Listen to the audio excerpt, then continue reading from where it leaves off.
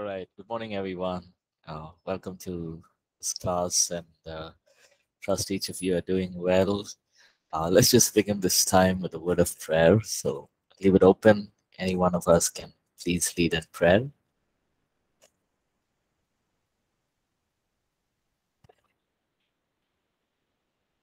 Go ahead. Say, Christopher, if you'd like to lead in prayer, please. My pastor, let us pray. Our dear Father, we bless you. This is the day you have made. We rejoice and we are glad in it. It is by your power that we are alive, and it's by your mercy we see another new day. We thank you for everyone in this class, in every part, wherever they are. We give you praise, O Lord. And we pray that this class, Lord, will be worthwhile and valuable.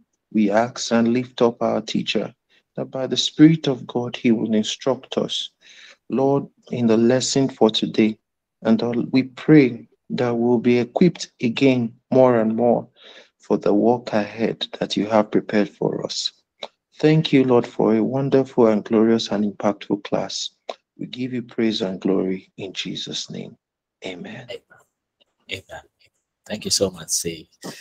All right. So uh, so we're coming to the end of our course. Uh, we've almost completed. Uh, so let's just quickly do a review of what we did last week. Last week we talked about, uh, uh, you know, the leader as a coach and how, as a coach, we are uh, a few things that, few responsibilities that we have is to build a stronger team, enable people to rise up to new levels, new challenges uh, and uh, you know as a leader or as a coach you begin to attract people who desire to be coached right? Um, and coaches develop other people and it doesn't end there right? Um, uh, so it's not like i develop we as a leader or a coach we develop somebody and it ends there no. Uh, they equip people to develop themselves as well. So we help them to grow and then we teach them how to mature, how to develop themselves as well. So, for example, you know, you uh, there's a young person in church, and you know he's been regular, and they, you know, eventually they become a uh, they volunteer, become a youth leader, and so it doesn't end there. Okay, I've made this person become a leader, but we equip them to develop themselves, which eventually will help them to, uh, you know, uh, mentor and coach others as well. Uh, work one on one. We see the Lord Jesus did that in his ministry. He did work one on one.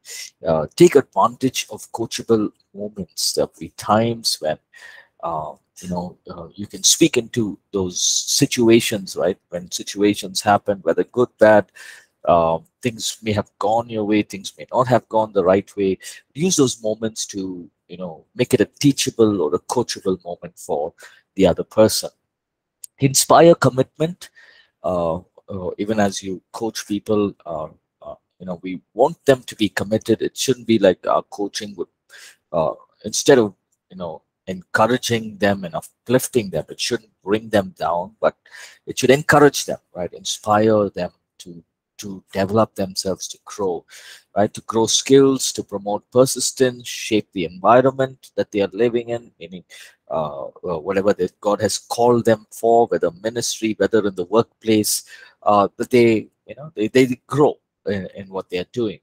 Uh, and finally, very important, we talked about was don't force, control, or manipulate people, right? Uh, uh, none of us can force anybody to be someone they don't want to be. And if we see even the Lord Jesus himself, you know he didn't force his disciples you have to do this or, or, or he didn't force people you, you must go ahead and uh, you know you must do this or he didn't control he didn't manipulate nothing right? Uh, as a leader he he expressed him he he let people see his life. You know, they saw his life and they saw what he is and what he could do and who he is. They begin to understand they willingly were, you know, uh, they came under his leadership. And so, never been a place where we yes, God has given us this role of leadership, and it's wonderful. But with this comes responsibilities, right? We are not called to control or manipulate people or try and you know force them to do something or be something that they don't really want to be. Uh, because if we do that, uh, later we'll realize that hey, uh, you know that that person may not be happy, and eventually all our efforts uh, may go in vain because we we are not seeing the fruit uh, of whatever we have done. So uh, never control or manipulate. Always be in a place where if people want to move on, let them move on. Right? If people want to do something else, they feel they're called to, you know, for example, start something of their own or uh, you know do something which they are passionate about. Uh, encourage them and help them to move forward. Right. So today we'll move on to the next portion. Uh, and again, uh, I'm just going to be teaching and in, in, between, if you have any questions, any thoughts, feel free to stop me. Uh, you know, you can unmute, ask your question. You can also put your questions on the chat and we will do our best to answer that. Right. So let's get into uh, the 27th section. And we'll see how much we can cover. I'm guessing we should be able to cover the, the entire course by the end of this hour or the next hour. We can see whatever time takes. Uh, but we should be able to complete it in these two hours, right? So mentoring another Christian. And Uh, so we've been talking about coaching, mentoring. But let's look at this, right? Mentoring another Christian. God's dealing with us. Second Corinthians 6:18. I will be a father to you, and you will be my sons and daughters, says the Lord Almighty. Now, in the old covenant, the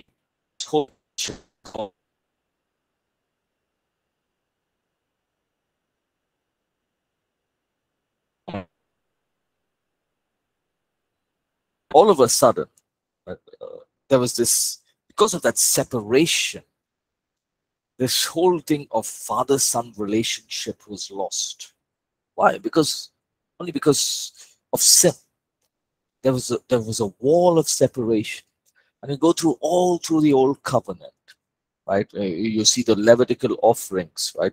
That day of atonement where the high priest goes and pours out the blood on this altar to, and I'm sure the entire nation is, you know, uh, their eyes are on this one high priest and if he comes out alive, God has agreed to uh, forgive their sins and bless them as a nation. Uh, so there was this kind of a, there was this, God continued to love, but because of sin, there was separation. The relationship was marred or it was, you know, it was tainted. But after the cross, that relationship was restored but I love what Jesus said on the cross, right? He said, My God, my God, why have you forsaken me?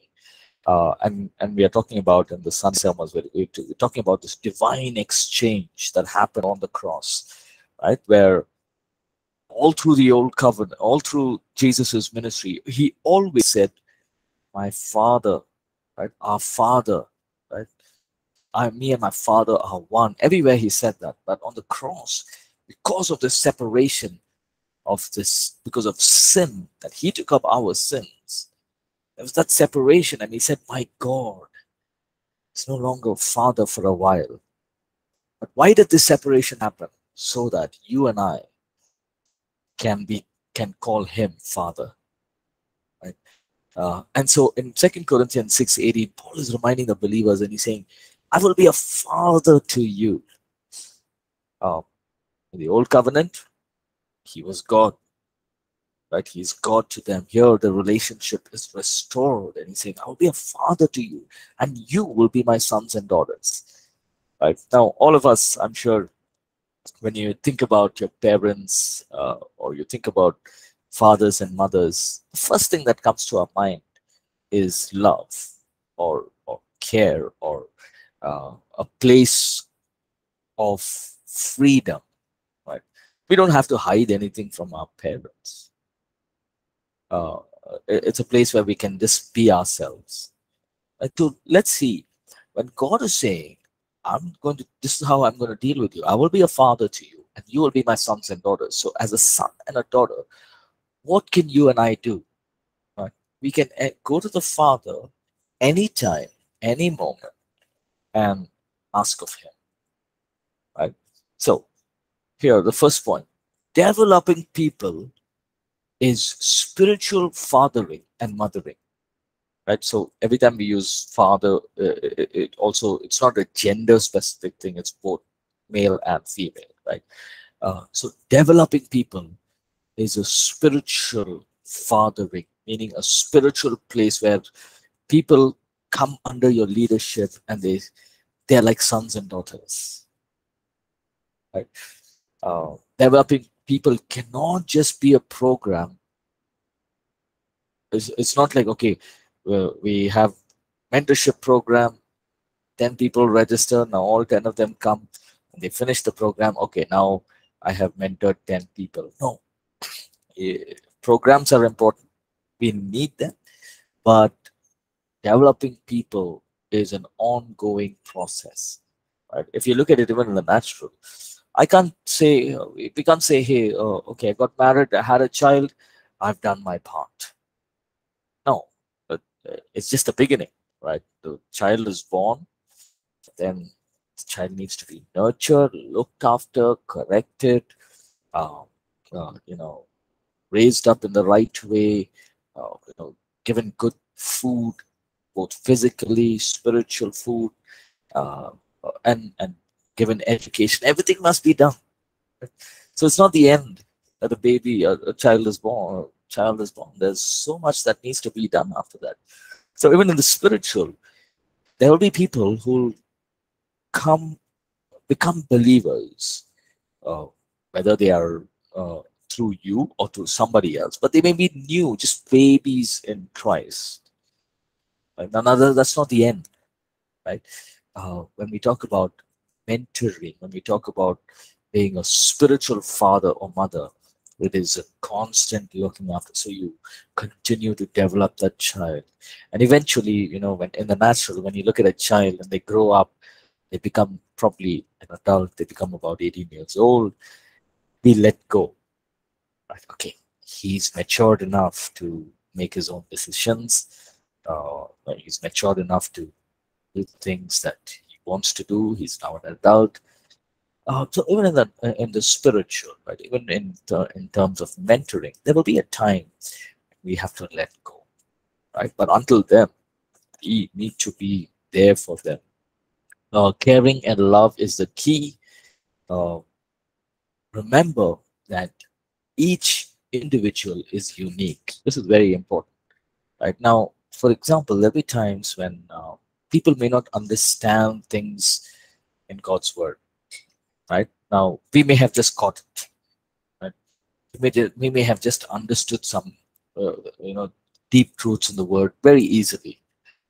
But there are other people who, you know, maybe in the corporate sector, they are wonderfully, very uh, intellectual. They are high up in the uh, in their teams. They're very uh, good with their work. But maybe in, in terms of the spiritual aspects, they're taking time.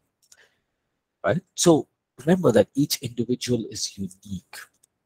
Maybe for us, you know, we feel that, hey, depression, suicide, nothing, just pray and uh, that spirit of uh, infirmity or that oppression will leave in Jesus' name. Just pray. But we can be casual about it because we feel nothing will happen to us. But there are people who are going through that problem. Right? For me, it was, you know, uh, when people say, oh, I can't you know i always use the phone. I'm not able to uh, control using the phone. Initially i used to think just switch it off and throw the phone away. But we can't do that right? Uh, I, I thought to myself hey everyone is unique. I mean uh, if i had the problem i would have done that. But i can't expect others to do the same thing right? so we are all unique in our own ways. Uh, so you know one thing that we must learn is to never look at compare people with ours ourselves and say hey I, if i can do it you know you also can do that. It's there but then we we don't compare by saying hey you, you can do it because i did it. No. Uh, remember that every individual is unique whether they are male female uh, children right? Um, something very interesting that I got to know yesterday was, uh, you know, my my son is he's in the upper KGs. He's only six years old. Apparently, you know, I was talking to the principal of the school, and apparently, it's become a, a compulsion that even the the children, the the toddlers, must have counselors now. I thought to myself, how are we going to counsel five, six year olds? But they are apparently doing it. They they should sit for a counseling session. Uh, things are changing. Everything, you know, things around us are changing. So uh, we must understand uh, people are unique. But one thing never changes. God is our Father, and He will be our, always our Father, and we will always be His sons and daughters. Right? And finally, we cannot love only on the group scale. So, for example, you have a group of about five, six people. Uh, it's not like we love all, you know, only when all five of them are together, you know, we overflow with love or we overflow with compassion. We're very kind. No. Right? Uh, even if it's two or three people in the group uh, and, and some are missing, it should be the same kind of love, right? So uh, it's not that only if there's a group, I will love them all. And again, every individual is unique. Whatever you do, you need a blueprint. Whatever you do, you need a blueprint. You need to see the end picture before you are ready to begin. Right? Uh, whatever you do, you need a blueprint. And this is so important, right? Uh, and we talked about, I think it was uh, last semester, we talked about uh, principles in in the ministry, principles in the workplace. Uh, always have a vision, always have a blueprint of what you want to do. Uh, see the end picture even before you're ready to begin. So when you look at people, right, for example, you look at a person, you say, okay, uh, this person is really passionate about God's word. Can see the anointing of God.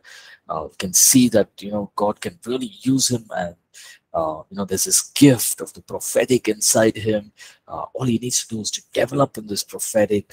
Uh, so let's, you know, let's just call him. Let's give him opportunities, small opportunities. But the end pictures, hey, one day I want to see this person preaching and teaching the word of God, being a blessing to the body of Christ, being a blessing to the people who's, who, you know, who's around him. And, uh, and so that's the blueprint. But even as you see the end picture, uh, work with them over stages, right? Uh, uh, and we also talked about leadership, how we are to, you know, when we offer leadership, it should should it shouldn't be given all of a sudden, right? Let people go through stages. Let people go through the smaller seasons, just being faithful in the small, and eventually give them uh, the bigger opportunities. Uh, the first thing you need in developing a person is to have a blueprint. Right? Uh, let's look at the next point. Spiritual fathering. Right? We use the term fathering uh, in a gender independent way, so it includes even mothering. First John 2, 12 and 13. Uh, the goal in our Christian growth is to go from being little children to becoming fathers and mothers. And now, uh, if we look at our own lives, each one of us, right, there was a time we were little children. We were just born in Christ. We had, we just knew a little bit of the word, knew a little bit about prayer. And over time, we learn. Over time, we grow, right? I'm sure, you know, once we become a believer, we may not, you know, this happened to me personally, right? Became a believer, I wanted to pray. I like to pray, but I didn't know what to pray. I didn't know how to pray, right? So it was, I think, for many many months, uh, you know, I would just open my eyes, walk around. Uh, you know, there were times I would get distracted, and it was really hard, right? But over time, I uh, after reading the word, after hearing from leaders, talking to leaders, uh, getting instructions, uh, it, it helped me to grow in my spiritual walk right now just because we are praying more uh, in the prophetic or in the flowing the gifts of the spirit that does not mean we are uh, mature uh, remember what paul writes to the corinthians He says, hey, you are you know, babies in Christ. Wait a minute, Paul. Uh, we are already flowing the gifts of the Spirit. We are, uh, we have all the, uh, the prophetic. We have the uh, speaking in tongues. All of this is there. We are already, you know, we're not babies in Christ. We're grown up. Paul is saying, hey, you are still babies because there is division, there is strife, there is hatred, there is uh, immaturity among you. Uh, and so Paul is making them understand that uh, uh spiritual growth is not only about, uh, you know, uh, the yes, it is focused is on the word, but there are also other things that are involved in spiritual growth, right? First Corinthians 4, 14 and 15. Maybe one of us can please read this. Uh, First Corinthians chapter 4, verse 14 and 15. Any one of us can just open to the scripture, please. Read it. First Corinthians 4, verses 14 and 15. The difference between spiritual teachers and spiritual father. Yes. Can anyone please read that? I did not write these things to shame you, but as my beloved children, I warn, I warn you. For though you might have 10,000 instructors in Christ, yet you do not have many fathers, for in Christ Jesus I have begotten you through the gospel. Yeah, thank you. So we see here, Paul is writing again to the Corinthians. He's saying, I'm telling you all this not to shame you, but I'm telling you this because you may have a, hundred of teachers, but I have begotten you, meaning I am your, I have given birth to you in the Lord, meaning it is through my ministry that you have come into the, uh, you know, uh, into Christ. You have become a believer. So I, as a spiritual father, I am uh, I, I, have the responsibility uh, to to to speak into your lives to correct you. Like you may have a lot of teachers. Now remember that Paul was itinerant, right? So he went about many places. So he planted the church. He went around, right? So he was not there every time, but there were other leaders, other teachers, instructors within the church. Now Paul is writing to the Corinthians. He's reminding them, see, not writing to you all of this because if we read uh, last semester we did uh, Corinthians, right? We looked at how he was so upset in the in the first letter to the Corinthians, and he was only, uh, you know, bringing correction to them. So he's saying here in chapter four, he's saying, "I'm not writing this to bring shame on you, but as a spiritual father, I'm writing so that you change your ways, and it's my responsibility. I must correct you. I must correct what you are doing in the church. And so we see there's a difference between spiritual teacher or an instructor and a spiritual father. Look at that differences here. We have it here. A spiritual teacher teaches truths. Now, whether you uh, listen to it, whether you agree to it, whether you don't agree to it, it's up to you. I'm going to teach. I'm going to teach God's truth. But a spiritual father will care for and help the individual to understand truths of God's will. Now, it's not like the teacher won't, but his focus is I'm going to teach. I'm going to teach, instruct. A father will go the extra mile for caring and helping the individual. Right? Uh, and, and, and we can definitely know the difference between them. Right? A spiritual teacher. Imagine asking a question to uh, to a teacher and ask the same question again and again and again. They, you know they may say hey come on i've already explained it. But a spiritual father will answer that same question again and again again with that same kind of love and care. A spiritual teacher is usually formal interaction spiritual father is an informal interaction. Oh, yes, I think somebody has raised their hand. Yes, Sri Kumar, you've raised your hand. Yeah, thank you, Pastor. Yes, go ahead. Yes. Pastor, I want to know that uh, how you select your spiritual father. and uh, how you know that like uh, the difference between that oh uh, if i want to accept somebody as a spiritual father so how you gauge or you know what is the criteria Yeah. behind it like you know you cannot be a spiritual you if somebody has given you baptism Yeah. and uh, now whether i have to make him as my spiritual father or uh, the church where i am going that pastor i have to make the spiritual father or somebody else i have to how can we come to that conclusion that um, you know the, he's my spiritual father Yeah. and second thing uh, can a person can have more than one spiritual fathers or uh, you know and that is also my question because naturally there is only one father but Yeah. can in the realm of the spirit can we have two three fathers so how we can able to come to that how we can differentiate this is my teacher and this is my Yeah. spiritual father thank you pastor thanks Yeah, that's that's that's a wonderful question. So, Sri Kumar, I want to start off by saying at APC, right? Uh, other ministries may have it, but here at APC, we don't we don't say, "Hey, he is my spiritual father. He is my spirit. She is my spiritual mother." We don't use that term much. Now, there's a reason, right? So, if we look down, even in the notes, we see that uh, it's not necessary. So, for example, I'm an unbeliever, right? Somebody comes and shares the gospel with me. I become a believer. It's not necessary that person only should be my will be my spiritual father.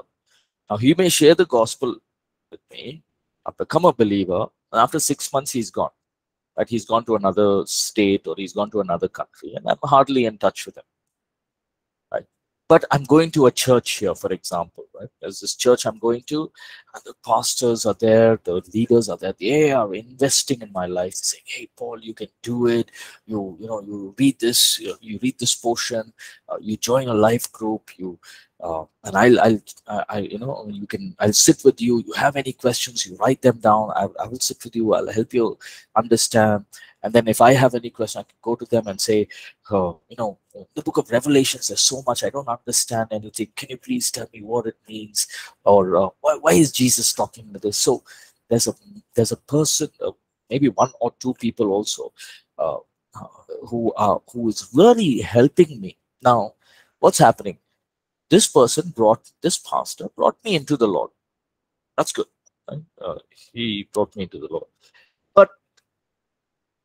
as a as a child as a baby in christ it is these people who are equipping me right so to answer your question Sri Kumar, firstly it's not that the person who gave you water baptism or the person who brought you into Christ, only they can be your spiritual father and mother, right?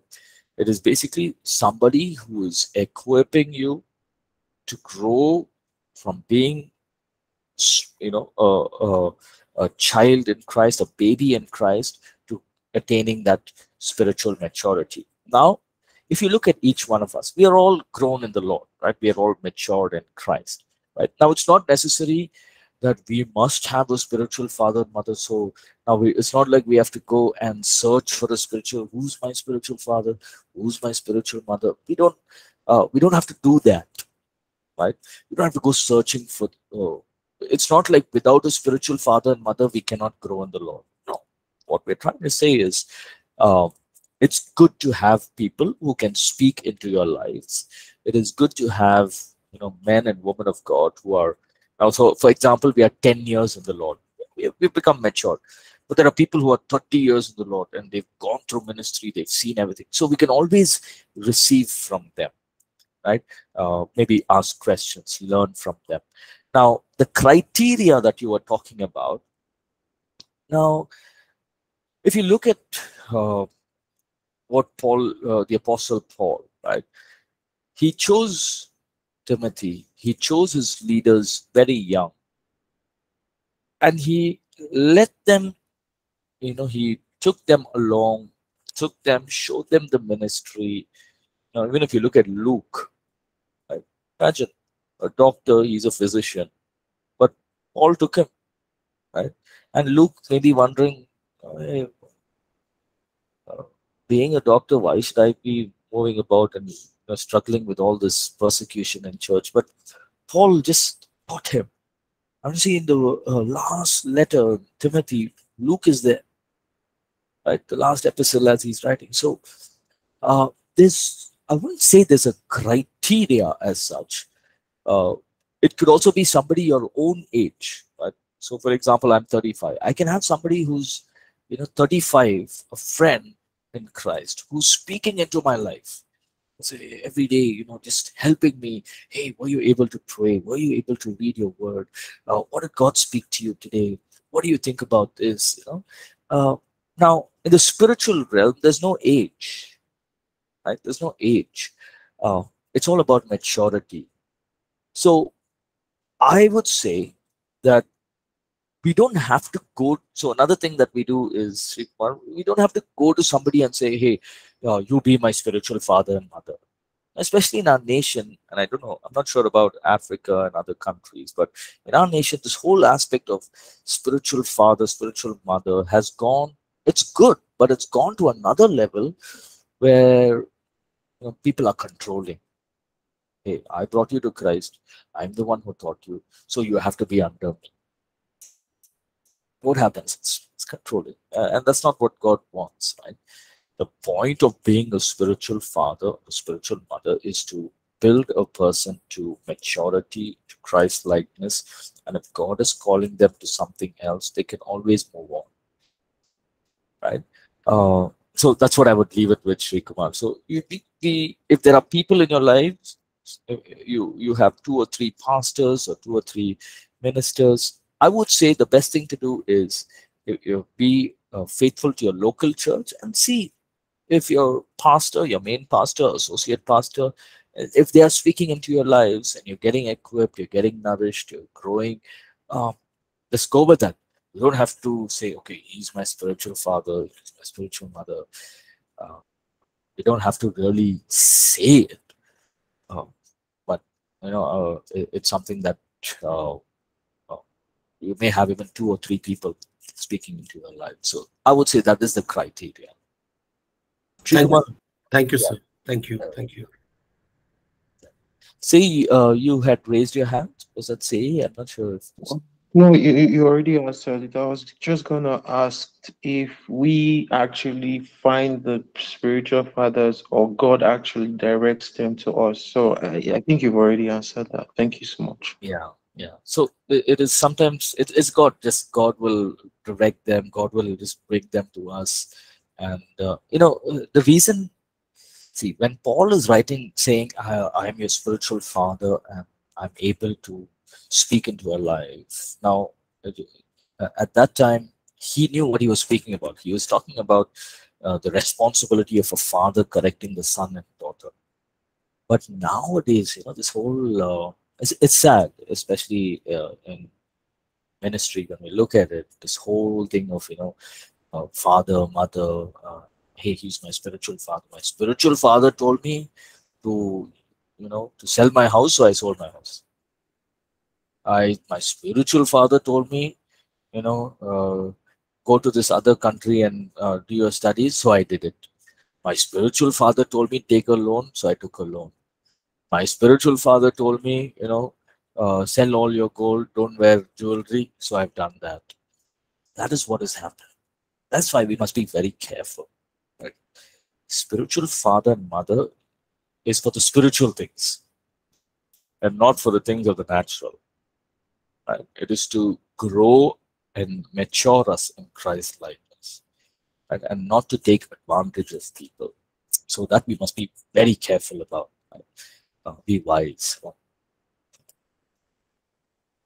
Right, uh, let me just check the notes. Right. Uh, spiritual father, teacher, learn from his teaching. Spiritual father, you learn from his life example, life to life, spirit to spirit. Now, was the Apostle Paul a spiritual teacher or a spiritual father? I would say he was both right? He taught he taught them. The reason was because they were all gentiles right? They didn't know anything about the gospel and gospel was still getting out. So yes they learned from his teaching but they also learned from his life example right there was a huge group of people that learned from his teaching but people like timothy titus philemon luke lydia Phoebe, all of these, uh, Aquila, Priscilla, all these. Excuse me, Pastor. Uh, Pastor, Yes. is it is it recording? Is it recording is happening? Just want to know. Uh, It is. yes, It's recorded. yes, it is recording. Yes. Yes, it's recording. Okay, thank Here it's not displaying this. Okay, no problem. All right. So, um, yeah. So as I was saying, um, the Apostle Paul was did a lot of teaching, a lot of instructing, but he also showed his, um, you know, his fatherhood side by being a life example, life to life, spirit to spirit. And he says to, in his letters, he says, uh, Timothy, he's been with me. He has the same spirit that I have.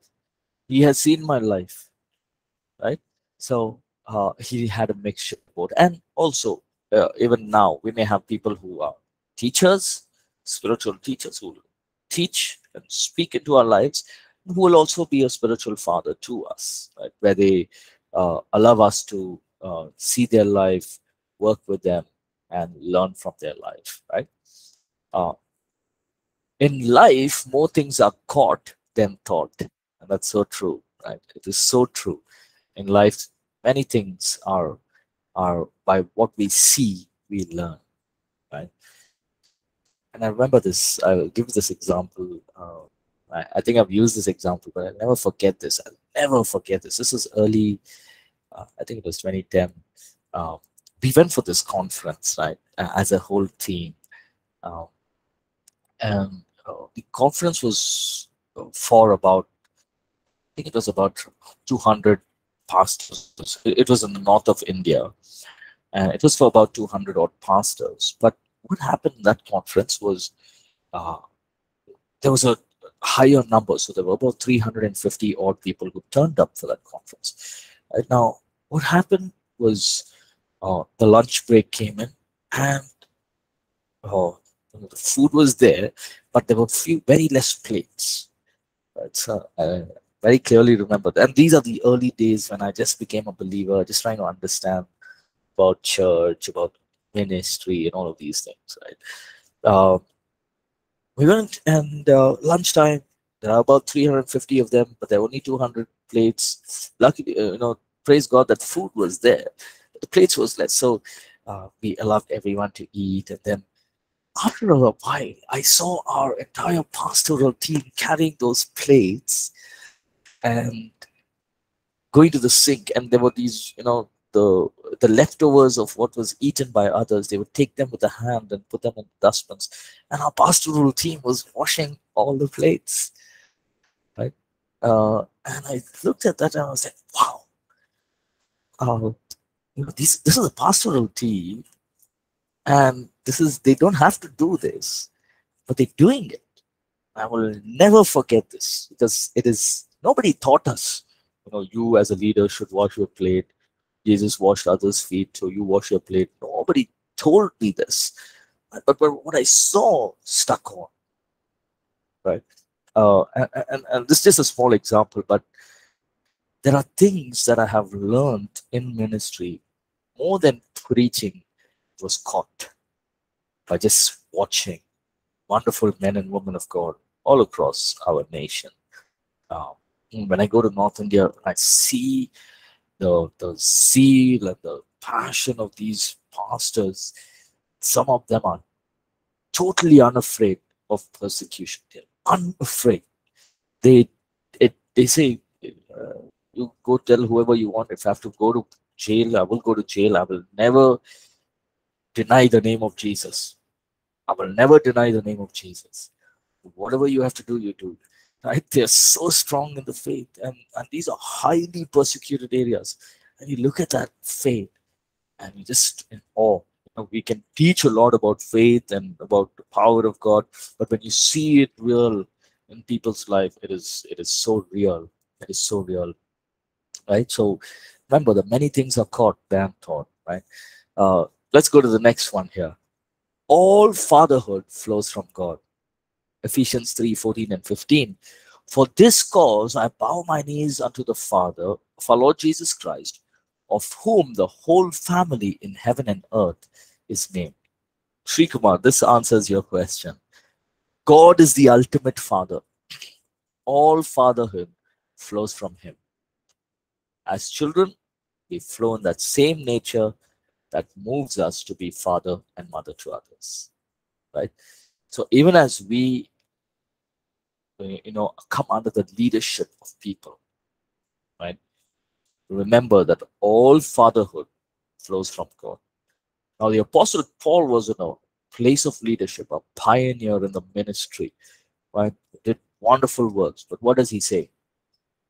He's telling the church in Ephesus, hey, I bow my knee to the Father. It is from him everything that I that I'm doing, everything that I have is from the Father. Everything flows from him. Paul, from where did you get this great wisdom? From the Father. Paul, from where did you get this great understanding of the gospel of, of this scriptures from the Father? Paul, how did you get the boldness to try, to start these churches in these persecuted areas from the Father? Paul, how did you uh, survive all the shipwreck and the persecution all